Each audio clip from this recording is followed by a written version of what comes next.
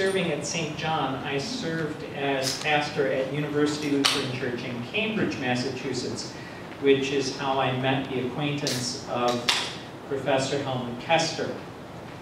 Um, on the Sunday that I preached, uh, University Lutheran uh, maintains a custom of inviting candidates for its pastorate to preach in the congregation prior to a congregational meeting. And so I came to, to preach as a candidate. And um, there were two services on the Sunday that I preached. In, the, uh, in one service, um, seated in front of me in the first row, um, was a man whose articles and books on the New Testament I had read, a guy named Helmut Koester. I had never heard him speak before, I had never seen him, um, but I had been clued in by one of the uh, members of the call committee that he was sitting there in the front pew. Um, so um, after the service, um, and in the second service, another guy, a guy named Krister Stendahl, who, who was another New Testament scholar, sat also in the front pew. That was at the second service. Double barrel. And both of them sat together, as I recall, between the services at a question and answer period. Um, but after I preached at that first service, um, Koester shook my hand at the door, the usual way of, of exiting, and looked at me and said, "Mm, Pastor Larson, my name is Helmut Koester. I teach New Testament at Harvard Divinity School, and I will tell you when you get your exegesis wrong.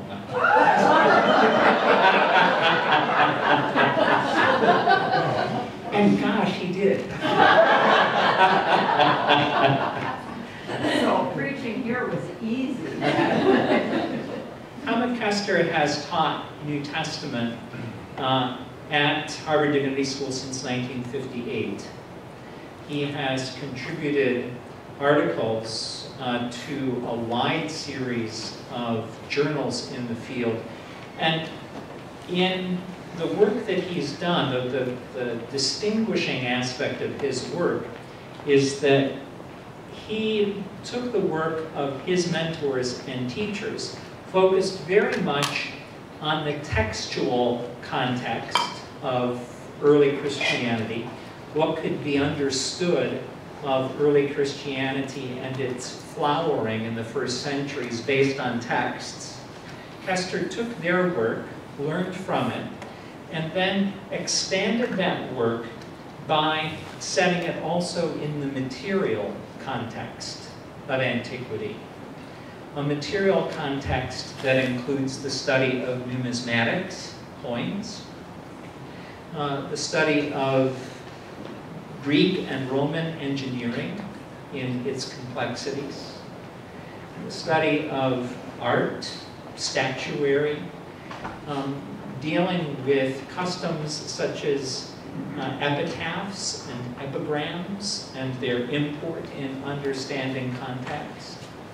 Um, Professor Koester's work has aided and abetted the understanding and the interpretation of the New Testament greatly by contributing to its understanding as a movement that was very much rooted in an announcement of God's justice an announcement made known in Jesus Christ and witnessed to in a Hellenistic Roman context which struggled around those issues. So it's great to have you here. Thanks.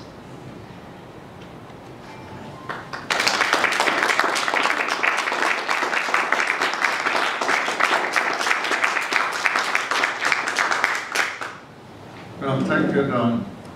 Um, it was indeed a pleasure during those years that uh, Don Larson was at the University of St. Church to listen to sermons by um, a scholar pastor, quite a bit of knowledge of the New Testament itself, and a scholarly interpretation, not a pious interpretation. Um, so it led to a, we hope, lasting friendship with Well, how many of you have been to the Holy Land? Um, my interest in dealing with the archaeological materials, coins, inscriptions, architecture, um, whatever, um, was not concentrated on the Holy Land, intentionally not, but concentrated on the areas of Greece, Macedonia, Western Asia Minor, which is now Western Turkey. Why? Because these are the formative places in which Christianity, as we know it, was formed. Um, it is here that Pauline mission really for the first time developed the concept of a new people of God, the ecclesia, the, which is our term, church, uh, the new Israel. All this is developed in the Greek world, and it's developed in the most flourishing, uh, intellectually and economically flourishing area uh, of the Roman Empire at the time, namely in Athens and Corinth and uh, Thessaloniki and, and in Ephesus, Pergamon, places you will visit in, in Turkey. Uh, these were the heartland of Christianity and they were at the same time the countries in which the um, intellectual and economic activities of the Roman Empire were, were center, the center of the Roman world was indeed the area from Ephesus to Thessaloniki um, to Corinth, Athens, Athens marginally so. It's also interesting that Paul's mission was concentrated on the uh, capitals. Um, Ephesus, the capital of the province of Asia. Thessaloniki is the capital of the province of Macedonia. And uh, Corinth at the time was the capital of the province of Greece, Achaia. Um, so Paul is going right into the center of a world that is absolutely different from the world of Jesus and Palestine. Um, it's a different language, it's a different culture, uh, its different heritage and uh, particularly also very different in terms of its economic uh, context. Um,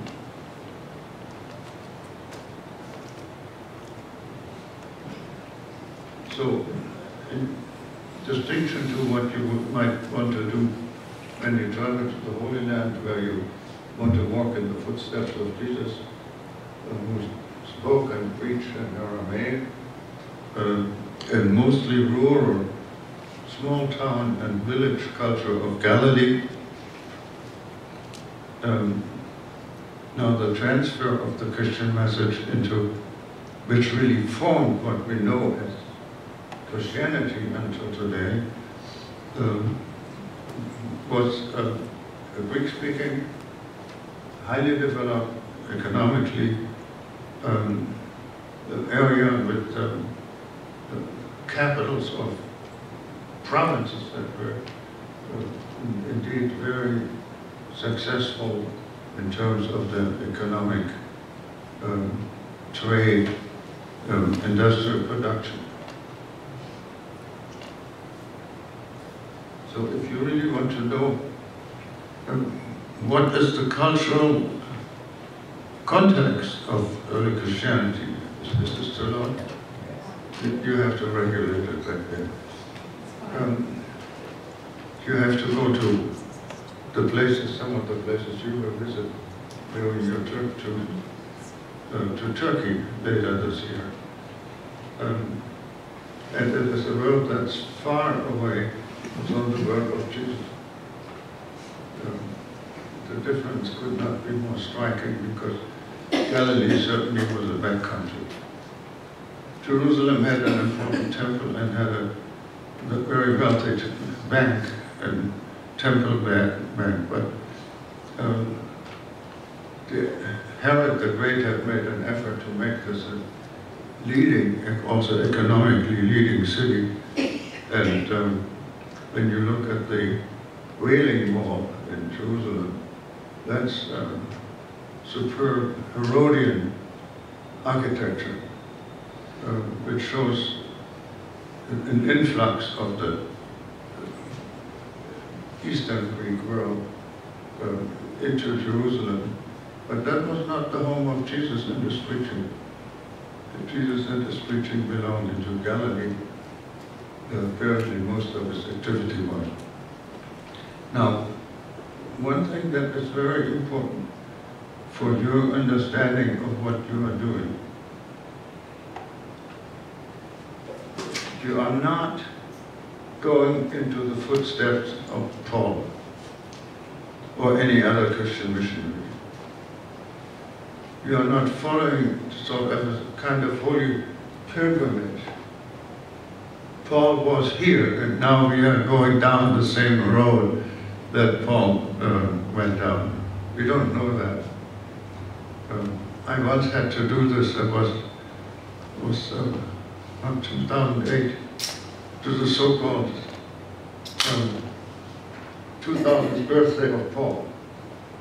Um, the ecumenical patriarch Bartholomew, uh, who resides in, in, in Istanbul, but of course in the terms of the Greek church is not called Istanbul, but it's still called Constantinople, um, invited um, all archbishops and patriarchs of the Greek Orthodox Church for a one-week conference in, beginning in Istanbul and uh, following in a pilgrimage to Ephesus and uh, then to uh, uh, uh in the, in the south near Antalya, which she will also visit.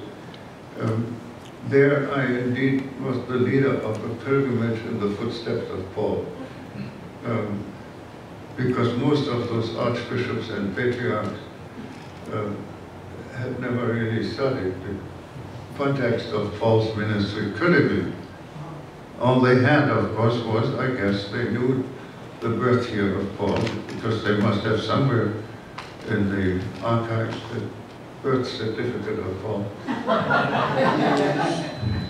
Therefore, it was, they, they knew it was 2008. Um, but um, that was a very different kind of tour and um, a strange experience with about 80 um, black um, garmented um, archbishops and bishops and um, whatever in uh, following me and stopping here and there and I had a Greek translator on one side and I had a Russian translator on the other side. Um, and uh, moving slowly uh, to, the, to Ephesus and later to, to Perge, where it was incidentally raining.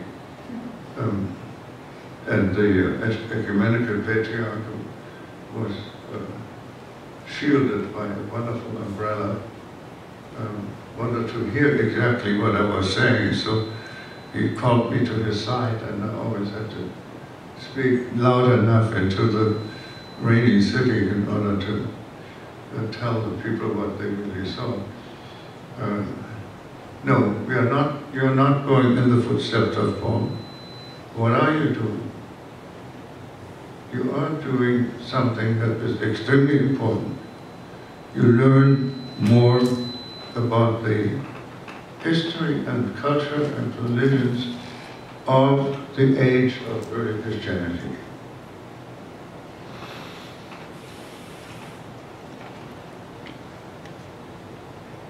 So,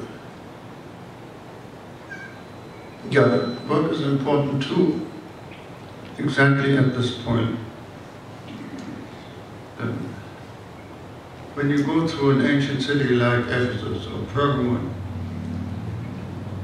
you have a very wide, uh, a, a very wide circle of, of things you're looking at. Um, even if you can imagine the ruins that you see, what they looked like originally, it doesn't mean that that was really what Paul saw, or where Paul was. Um, if you go, you will be in Ephesus and you'll see the library of Celsus, reconstructed by the Austrian um, Archaeological Institute. Very impressive monument. Um, the, it wasn't there when Paul was there. And what you have to learn is the, the big distances in terms of time from, from the very time um, before the mission of Paul and a century or centuries thereafter to the building of the first Christian, surviving Christian churches. This is a period of, of building activities, um, very impressive, that goes from the classical period of Greece, um, that is 500, 400 before the Common Era, to the building that was going on and the relocation of Ephesus when it was moved to a new position closer to the to the to a harbor. Um, that um, you, what you see is things being excavated which have been built during a period of 300, 400, 500 years, right next to each other. Um, so what you see now in terms of reconstructed buildings and what you see in terms of the um, ruins, you don't forget that you're talking about um, activities in city building.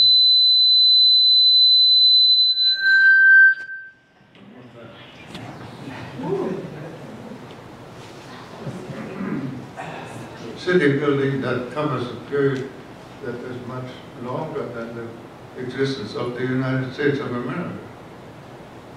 Uh, 400, 500 years. Um, a Roman forum built in the fifth century. Um, something wrong? Oops. No other disaster coming, I hope.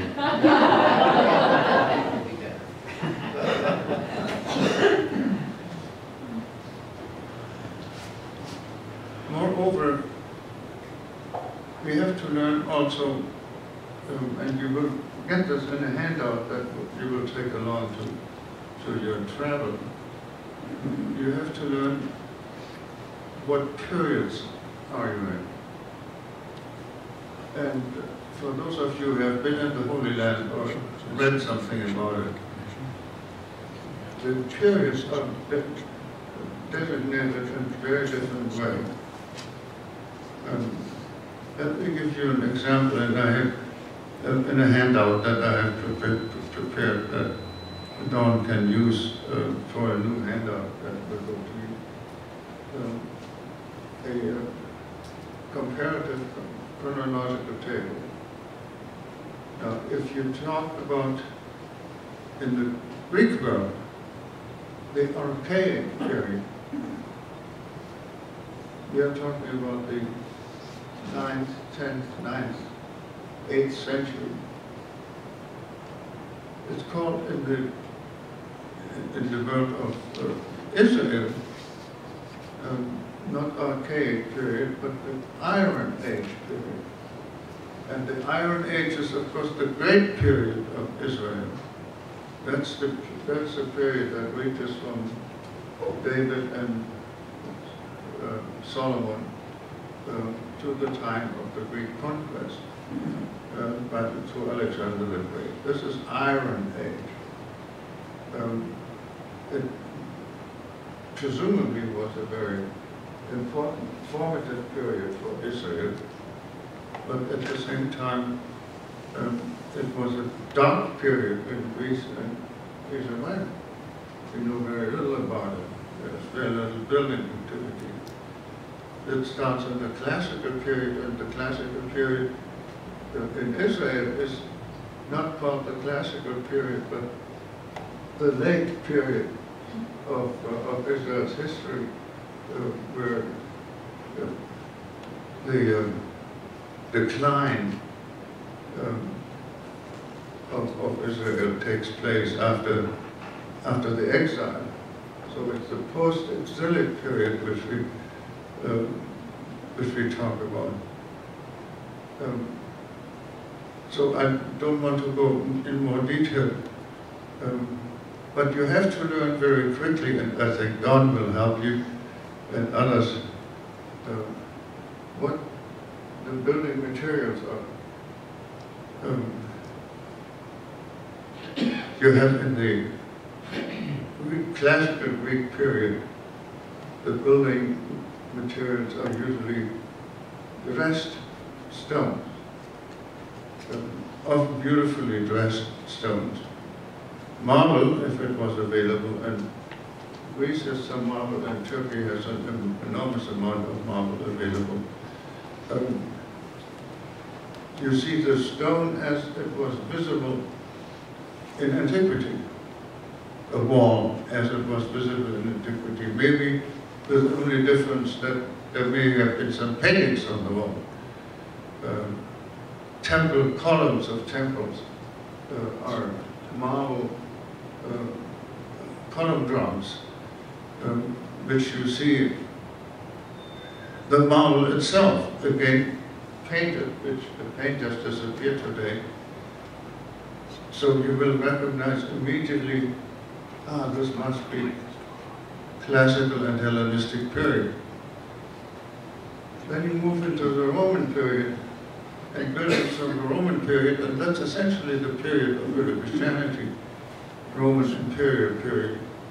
Um, they, you see very ugly walls of either uh, fieldstone or uh, brick, um, which you see, this is not what's happening here. Why is that? Do they have these rough walls? Well, um, they didn't have them. You didn't see them in antiquity.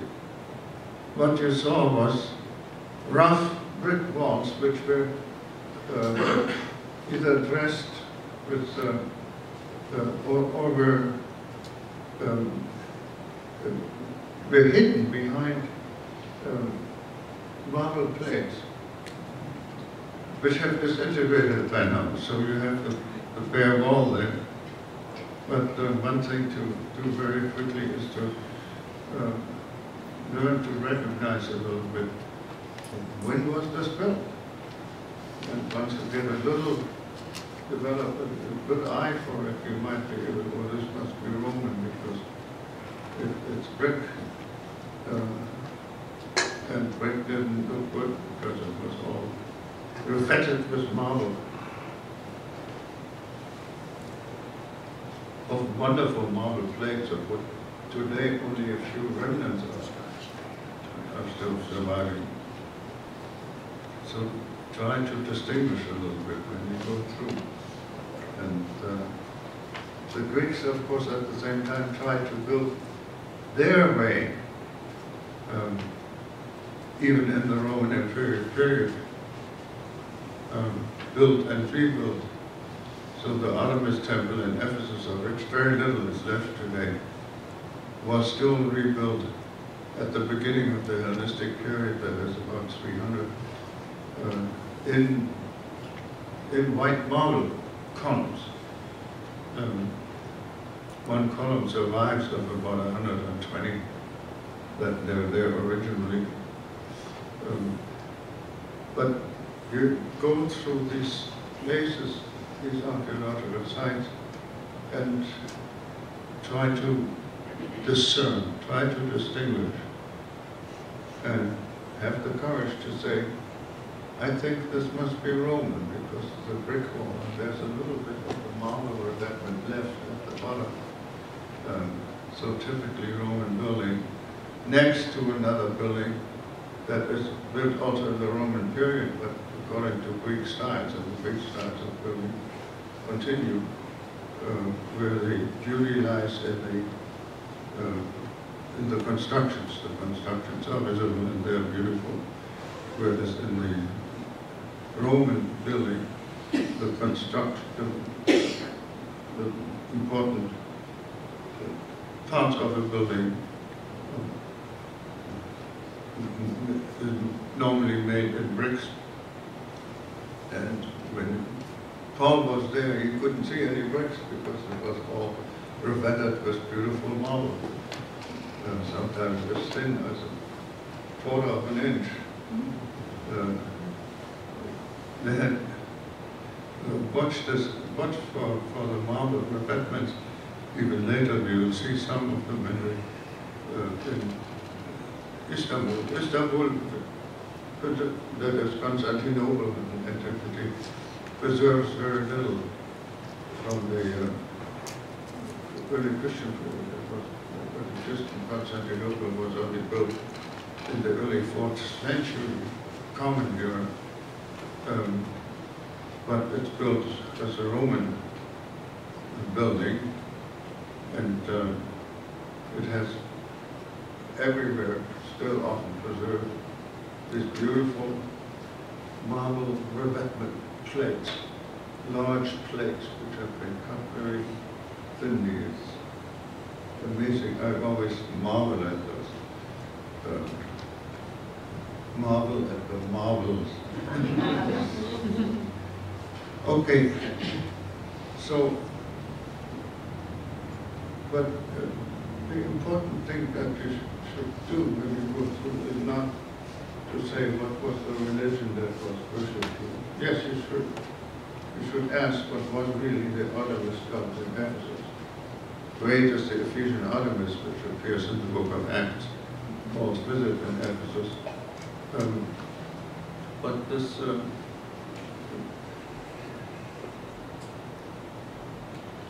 I, I, I got distracted by something I wanted to say. Um, yeah. What was the significance of this temple? The temple that to Artemis that stood there. Um, originally, the temple to a goddess, archaic goddess of the Greek, pre-Greek period even, um, but built and rebuilt destroyed in a great fire at the end of the fourth century. Um, in the night, it is said, in which Alexander the Great was born, and um, rebuilt again in its classical Greek style in every respect, with its 120 columns, double colonnades on all sides. Um, impressive. What was going on there? Very little. You know, this is interesting, you know. The, the, the, these temples are the houses of the gods. In contrast to what the Christians built, houses for people. Um, what, how did people relate to it? Well, in two ways there were some regular sacrifices which took place outside of the temple. Um, the altars are always outside of the temple building itself. Um, the kind of stuff that you burnt there for the gods, uh, all this bad stuff from a slaughtered animal that are not fit to eat, and so you burn it so the gods could smell the beauty Um, but the main activity was one week uh, every year in which the uh, birthday of Artemis was celebrated. And that was procession.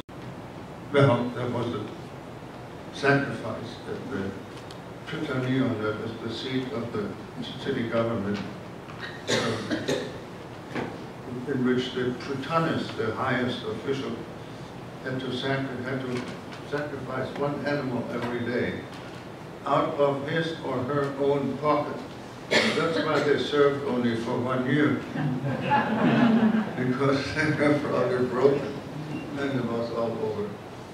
Um, And um, then look at the inscriptions there, which are every Prytanis, every um, city director, so to say, uh, left, and there were he's and she's, there were also women who had this uh, office. Um, They left an inscription in which they listed how many cult officials, how many flutists and how many dancers and so on. Um, Don will not forget to show them these inscriptions to you. Um, and um, Tosa will also remember that. Um, so the inscriptions tell us a little bit about the rise and fall of the popularity of the religion.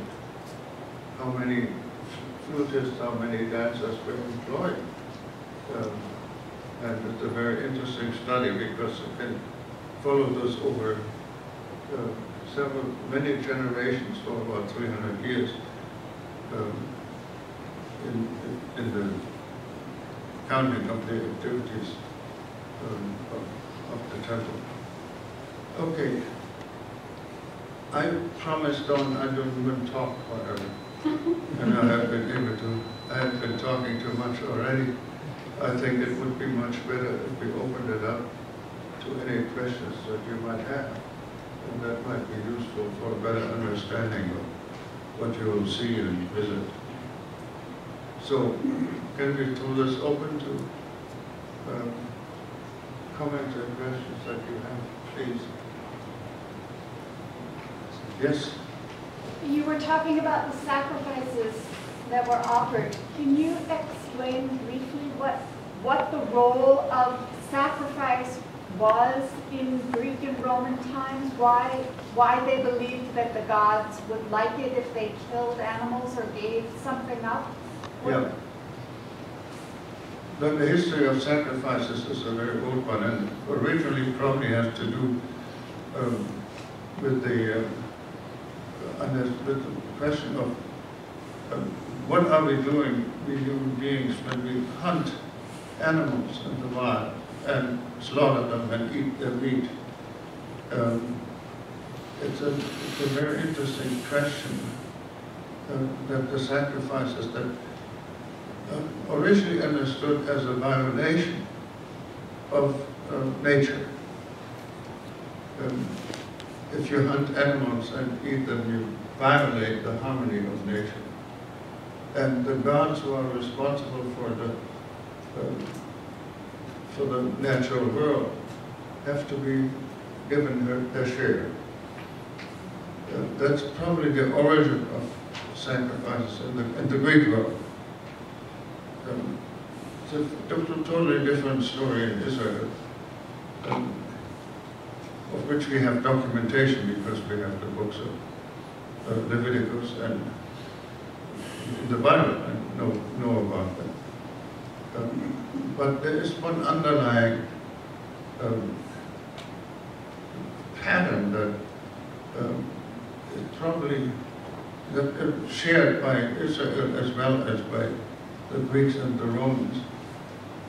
And that is to do something to please the gods, because for the well-being of the of a commonwealth, of a city, or of a country, the favor of the gods is extremely important. When the gods withdraw their favor, you're facing political and military and whatnot disasters. You probably, if you forget to sacrifice, you probably face a plague that will devastate, kill one third of the population. Um, the, the, controversies which, which arose very soon, at least around the year 100 between Roman Christianity and the Roman world, um, were mostly centered around the question, do all people serve the gods in order to please them? And um, you don't forget the sacrifice on any particular day, because it might mean that the gods will withdraw their favors.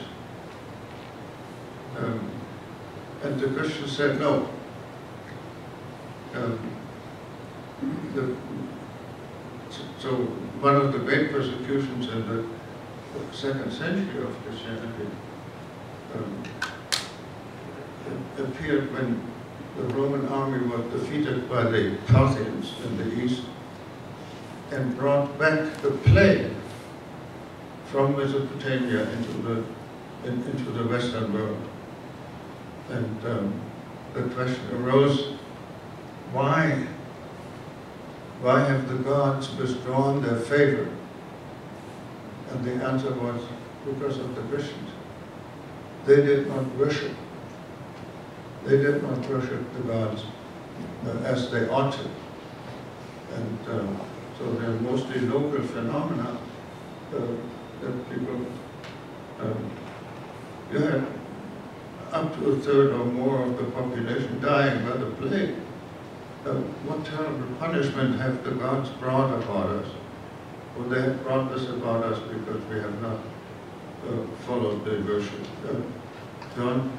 So sacrifice plays a role in the stability of the political system, but it also plays a role in the stability of local community because a part, Israel's system of sacrifice did not permit people to eat of the sacrifice, but in Greek and Roman sacrifice, the community consumed meat from the sacrifice in communal, in communal meals.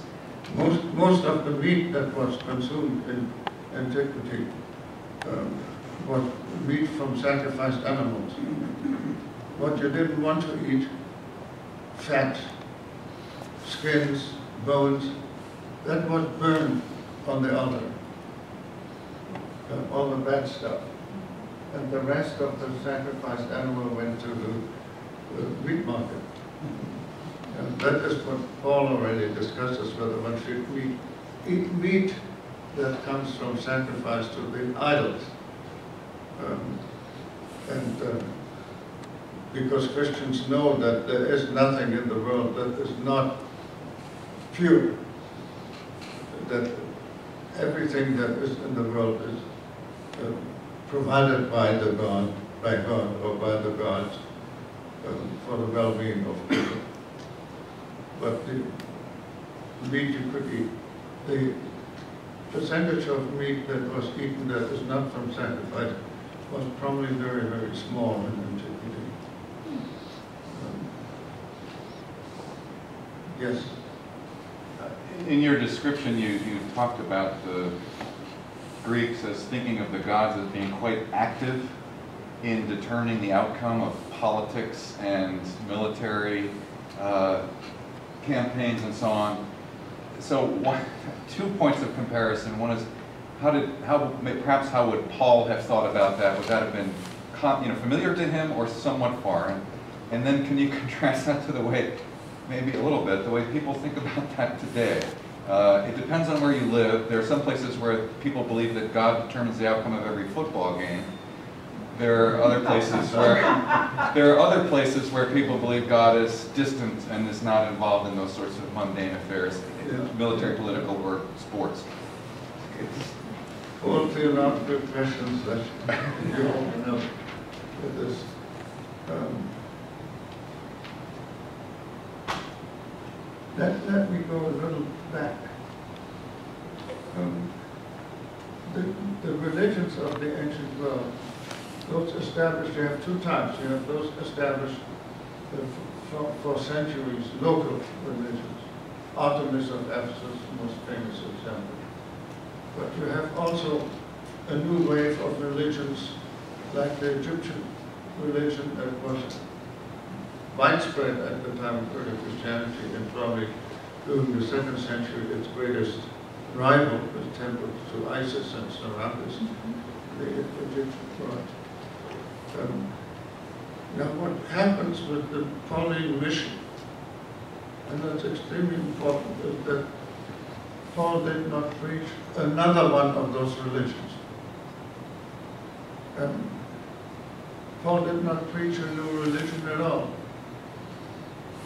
But Paul wanted to create a new society in which there was no Jew, no Greek, no free, no slave, no male and female. Society of justice and equality as an alternative to the Roman system. And Paul saw the Roman system as unjust because of its tremendous social injustices and inequalities. These should not dominate the Christian world. Now, there are changes after Paul uh, with respect to understanding Christianity more and more as another religion. Uh, but that's not the initial impetus. The initial uh, beginning of the Christian mission as we see it in the Pauline mission is building of churches, so of communities. And Paul takes the terminology uh, for designate these communities out of the political world, not out of the world of religion. That's very clear already in the term ecclesia, which we translate as church. Ecclesia is the traditional term for the assembly of people in the marketplace or in the theater. Um, the, the term gospel, evangelion, is a term that was, was used in the proclamations of emperors of the beginning of a new age. It's also a political term. Um, and it's striking that in the early Christian churches, the early Christian sources, the terms for, typical terms for religious association are missing. They don't exist. Um, and um, if you go back to go to 1 Corinthians 11, and that question, you really need a whole course on, on this. Excuse me. Um, but um, the founding, the founding of communities in which, interestingly enough, um, in Christ there is no Jew nor Greek. Um, now tell us to uh, Israel and the Palestinians. That, that those distinctions no longer matter because you accept everybody with respect and with love. And um, whether you're a slave or whether you're a woman, it does not matter. Um, that is the new blueprint for the Christian community. Interestingly enough, you see that um, when Christianity finally succeeded, succeeded to be a legitimate, tolerated religion under Constantine, not the state religion or something like this. That took another hundred years. Um, the pagan temples mostly fell into ruins. Um, at most of the, the pagan temples to the pagan gods, or also to the Egyptian gods or whatever, um, there is no evidence that the Christians willfully, willfully destroyed any of those. They were not the enemies of Christianity. But there is one type of temple which the, the Christians after Constantine um, hacked to pieces, destroyed them completely. Not what kind of temples would the Christians destroy? Temples built to the imperial cult. Christ was king, not the emperor. And um, there are some interesting examples of um, huge and important um, templates for the imperial cult, for the cult of the emperor, which have been hacked to pieces. Um, but not pagan temples either fell into disuse or were taken over by Christian churches locally. Um, if you have a city, city government that is in its majority Christian, they will not vote any money to rebuild a tem- temple that was destroyed by an earthquake because the majority city government would vote against it. Um, what then to do with that property? Oh, the property is wonderful. Why not change it into a Christian church? A pagan temple, and you see examples. Pagan temple that has a row of colonnades outside, and then a cella in the center with, with the statue of the deity, of the god or goddess.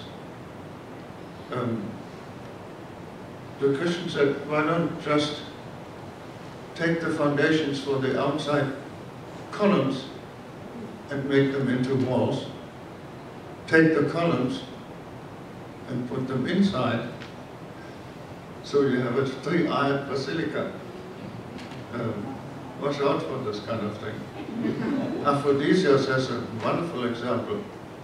Um, Aphrodisias left the column, colonnades, the Temple of Aphrodite. They left the colonnades, outside colonnades, standing where they were, and used them as the dividing um, colonnades between the central aisle and the side aisles. And then built outside of that um, a, a, a new temp, new church walls. So you get a huge church built probably in the fifth century, Common Era, and you'll see it in Aphrodisias. Um, look at it carefully, you can see what happens, what the Christians did with this Aphrodite temple.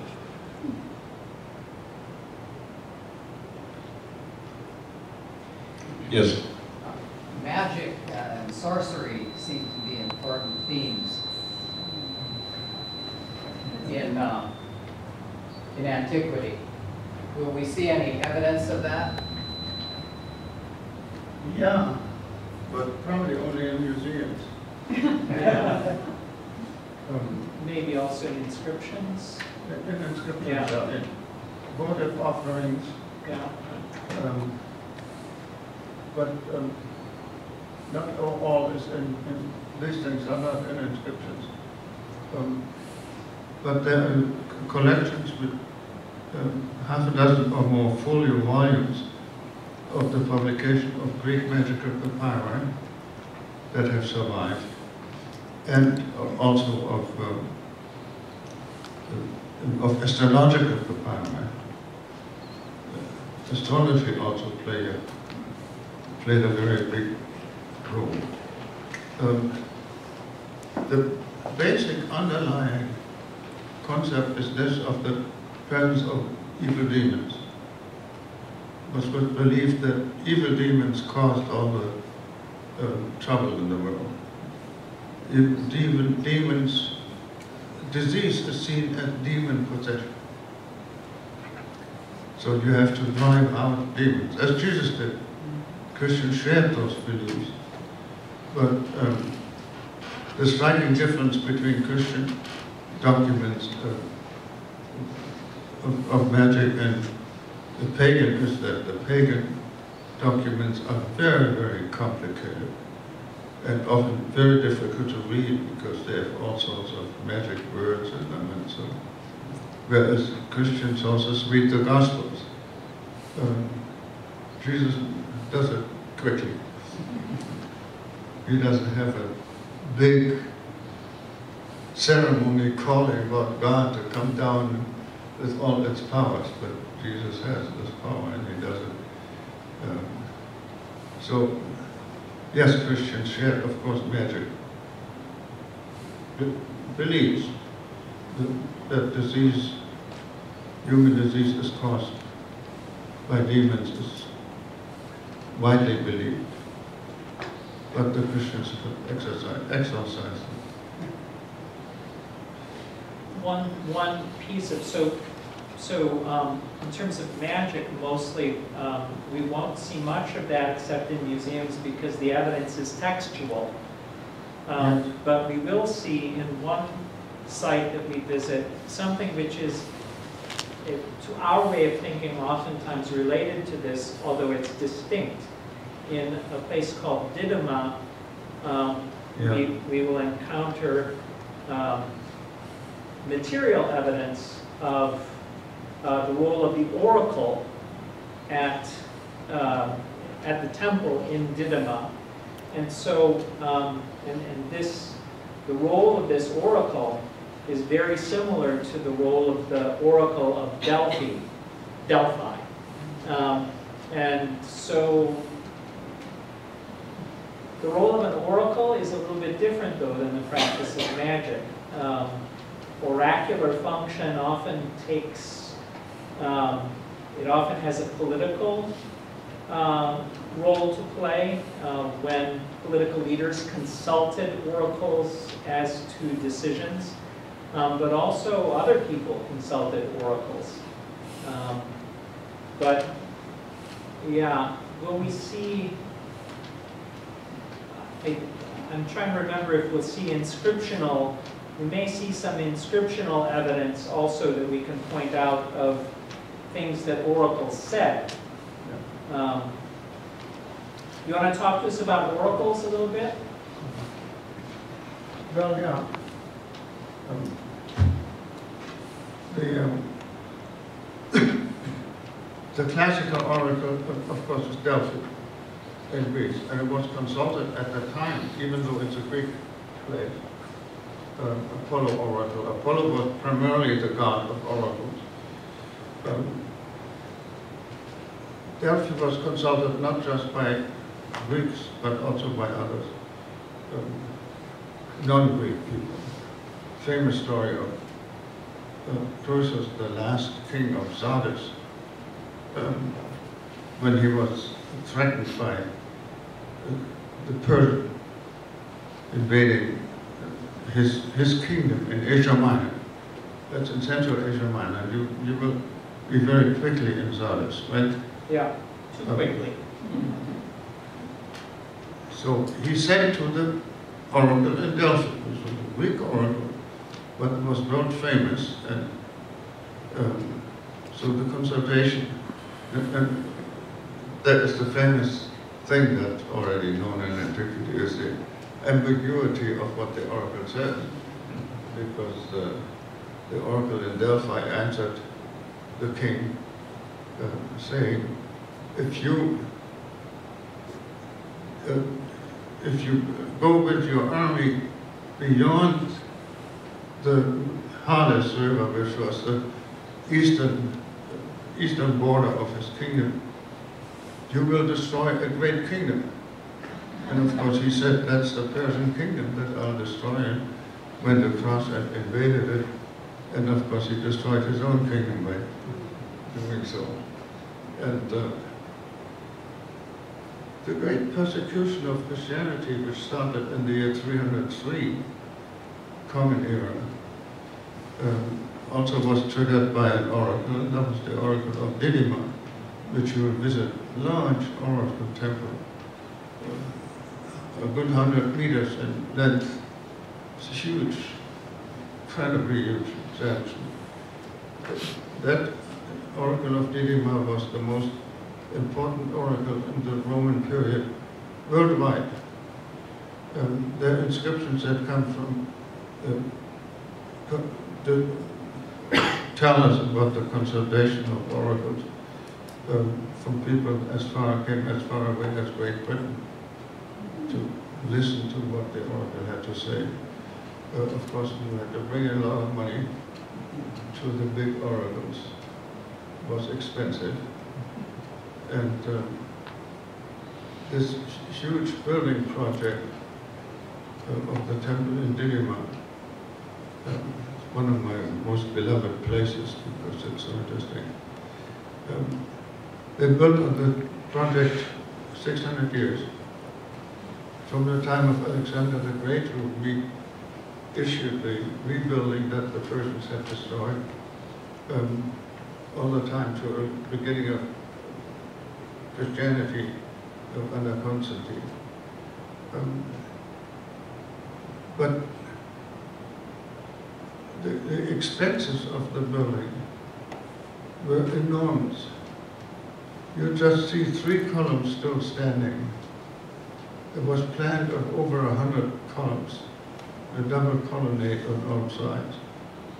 Um, and um, inside the temple, they have found um, drawings in the, on the wall um, for the shape of building materials, uh, whatever is needed, what ca- capital, one-to-one um, mo- models painted there.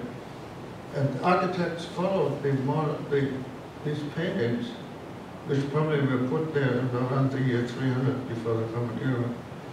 In the continuation of building more, next year another column, uh, one column with its capital and architrave, one of 105, I think it is, cost 10,000 man days. You can have some idea how expensive it was to build this. Never finished in 600 years, but functioning. And when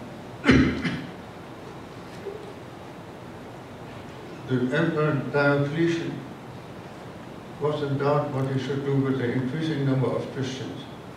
That is in the year 303 of the Common Era. He consulted the oracle in, in Didyma.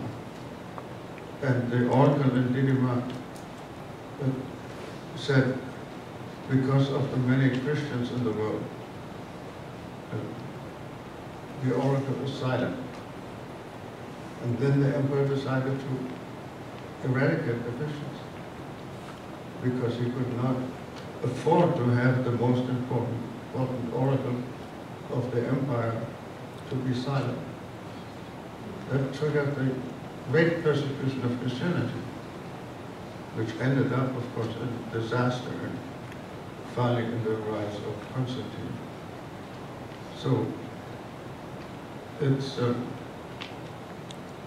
uh, Delphi was not any not any more important at the time, but it was consulted. You could go to the oracle and pay some certain sum of money in order to find out whether your grandmother would die or, or live. Uh, inscriptions show us these petty kind of things. Yes. How do you get to be an oracle? How does that happen? I mean, the- is- there's no oracle school, you're not the best pupil in oracle school, what, where do, where do they come from? You're hearing this question from an economist. You have to be part of the Federal Reserve. Yeah.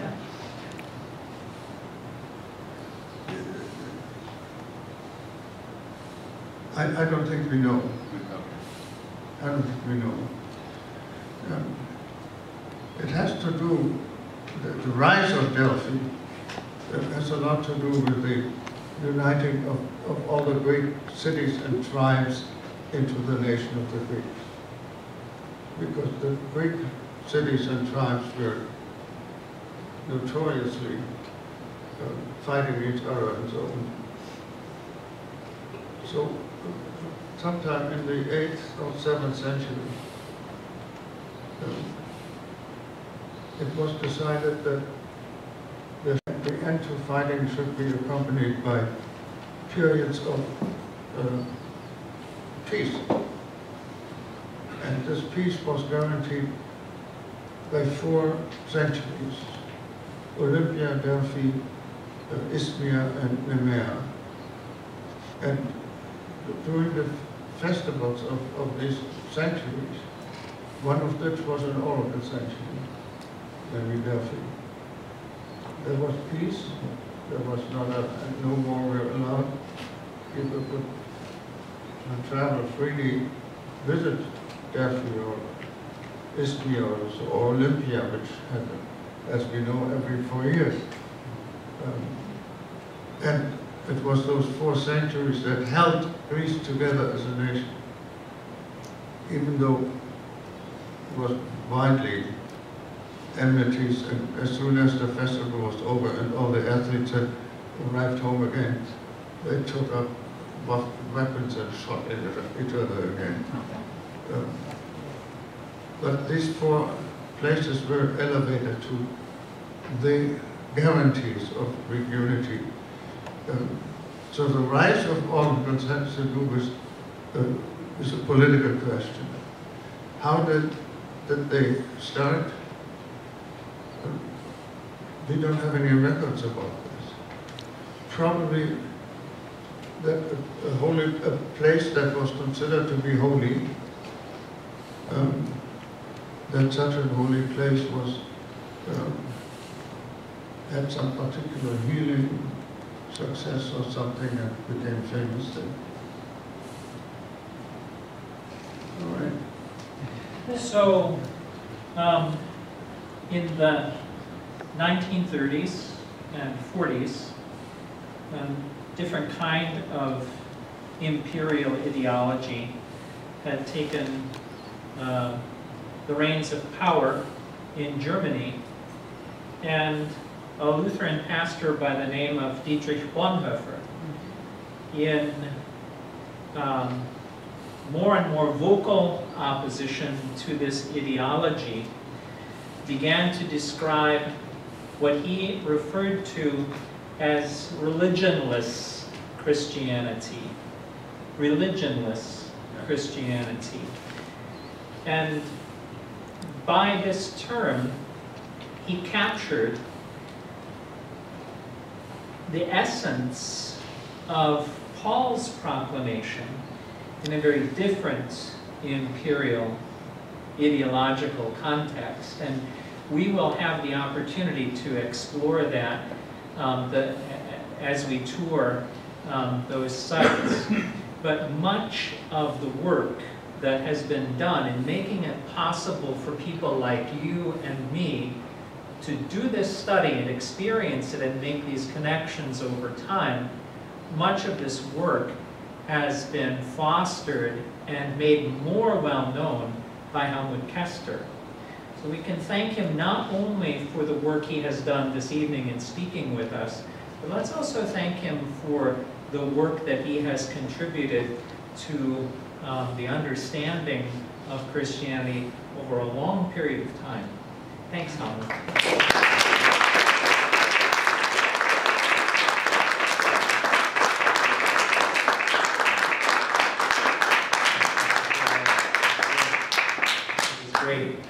So um, uh, there are still goodies. Um, Please stay as long as you wish. Well, don't stay as long as you wish. We'll, we'll close, the lights are going to go off by midnight. so, um, But uh, there are still goodies. Please help yourself to refreshments. And uh, again, welcome to visitors who are here too. Thank you. Say hi also to Gisela Koester. Gisela. So.